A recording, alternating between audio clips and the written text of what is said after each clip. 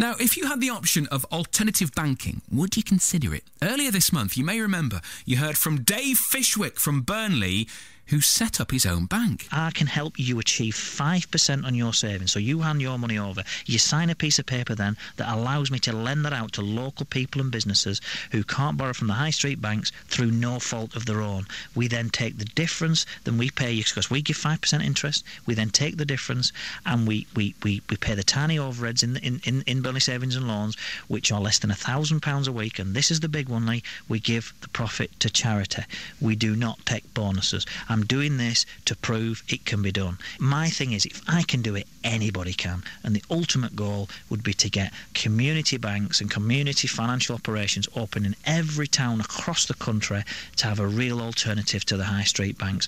Dave Fishwick from Burnley, who uh, you heard uh, just the other week on BBC Radio Stoke, and someone who heard that and called was Peter Smith from Newcastle, who has come up with a banking system that doesn't need a stock market and uh, believes will bring trust into the community. And he's with you now. Good morning. Good morning. Thank you so, for having me here. No, thank you for popping in. Um, just explain then what your people's banking system is.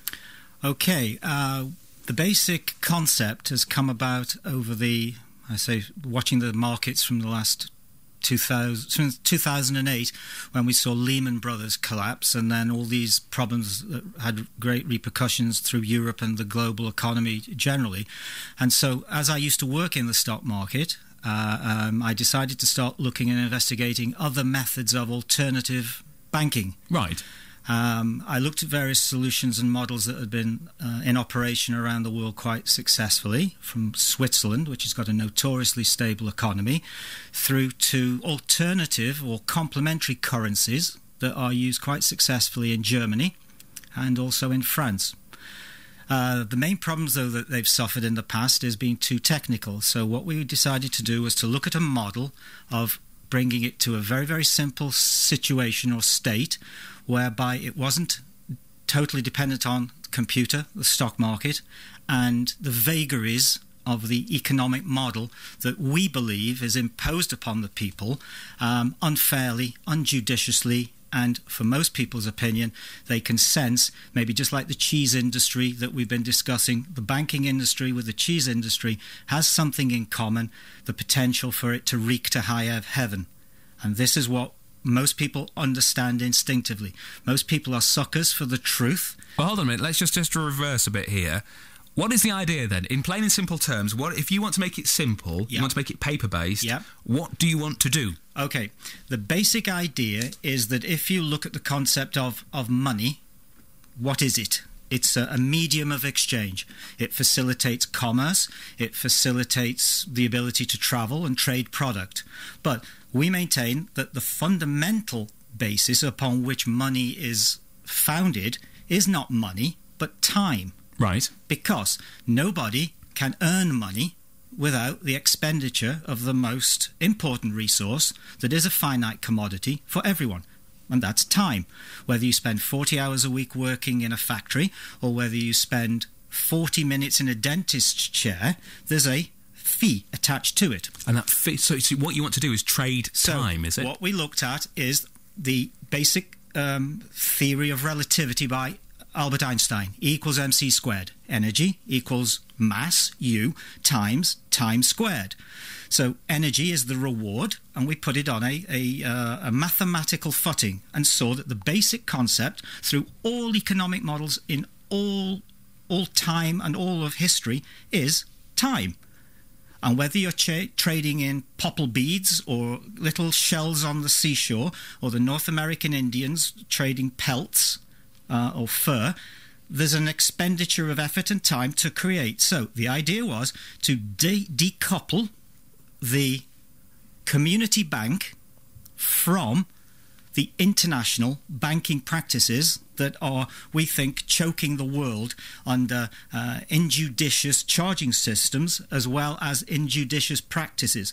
So the prime instinct where was to say to maybe the people who would want to come and join Rebank, or We Bank, the unit is called the Re, um, don't fight the banks, just Start your own system. Decouple from them. Right. So right, I'm just want I'm trying to simplify this in my head, if nothing else. I work on the radio Mm-hmm. So, say that my an hour's worth of my time is worth two of your rees. Mm-hmm. That's what they're called. Okay.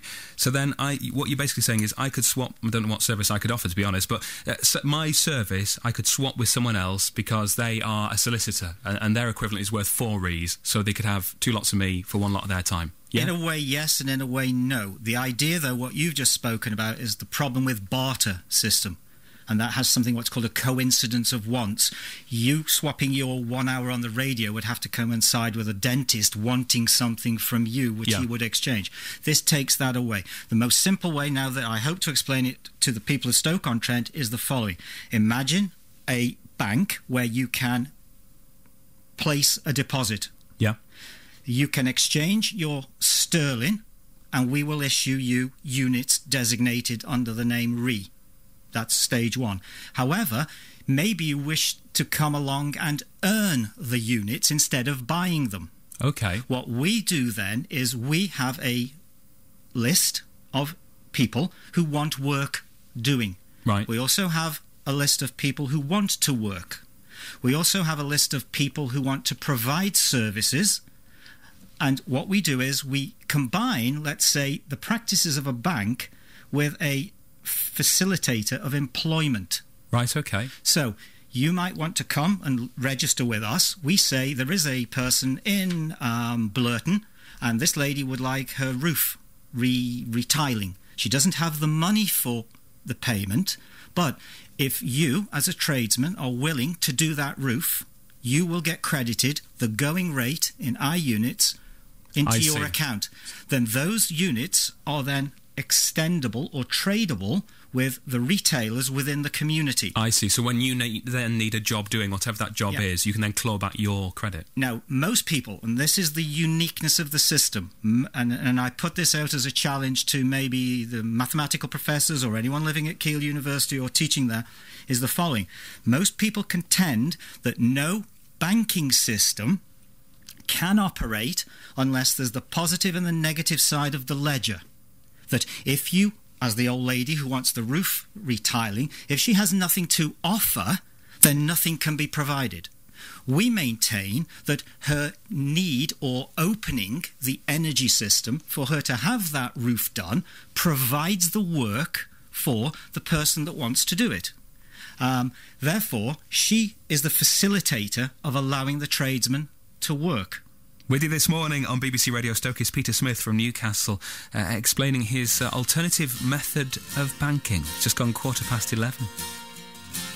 Smith from Newcastle soon and his uh, new idea for a community bank. Well, it's certainly not a new idea. It's been uh, trialled in uh, in France. We learn. Well, more on that in the next few minutes. Uh, just to with you at the second, though, is Peter Smith from Newcastle, who worked in the stock market, is now working on a bank. He says that community is the future for banking. And you've explained to us, Peter, how you see it working in terms of uh, people sharing their skills, more importantly, sharing their time and having to uh, have put time into the system to take it out again. And you're hoping that will create employment. Yes. And you say that this basic principle has been tried in France, where you lived for a number of years. That's correct, yes. Um, it was trialled in 2011 in two areas. Uh, mainly in an area called Grimaud, which is near to Saint Tropez. That involved um, various members of the community actively seeing if it was an operational system.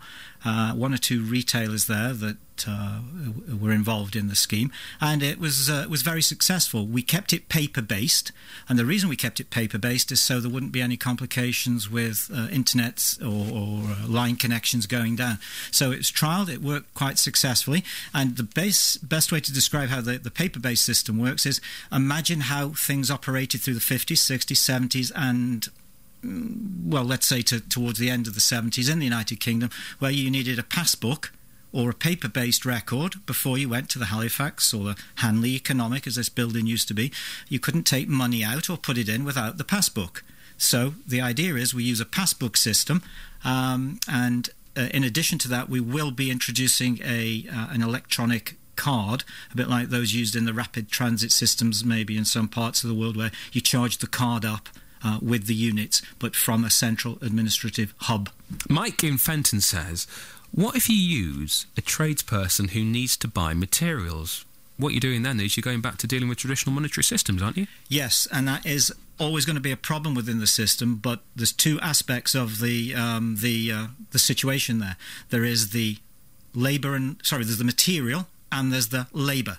Invariably, it's the labour charges are the highest. There is always the possibility that the um, the the tradesman has the material already, or there is the possibility that the person that wants the work doing, the lady, can get the material from someone. But that is always going to be a rub in the system. The the, the, the differential, therefore, is always the fact that you have to have a little bit of um, flexibility. The system doesn't have to stand on its own. People can come into the system because it's VAT free, it's income tax free, it's not subject to any government regulation or scrutiny whatsoever. And so they can use not only sterling but our units to facilitate a higher and better wealth system uh, or generation of wealth and therefore live, we would think, more profitably. Gary and Wolstanton says, isn't this just another let scheme? They've been around for years. There've been a number tried locally over the last, say, three decades, and they've failed. Yeah, the main problem with lets, and it's very, very commonplace in France. And if anyone wants to try and look at any research ongoing in France, there are more what's called complementary currency schemes in France than any other uh, country in Europe. The let scheme is is an exchange more to do with uh, a barter system than an exchange of a unit, where they all have historically failed. And he's correct is the fact that you have to have a, an exchangeable unit of currency. And that's what money is. It facilitates trade. It's nothing more. It costs the Bank of England about one penny to produce a £20 note. And as we all will know, the Bank of England is a private company, contrary to what people think.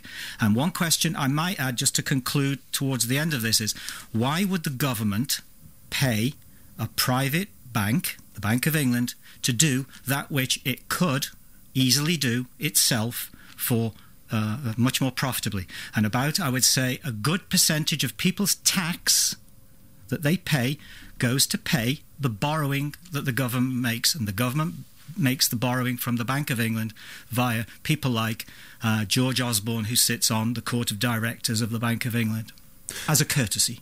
Peter, thank you for your time this morning. That's Peter Smith from Newcastle, who's uh, working on a new community bank system. His thoughts there. It's 27 minutes past 11, and uh, let's hop from banking to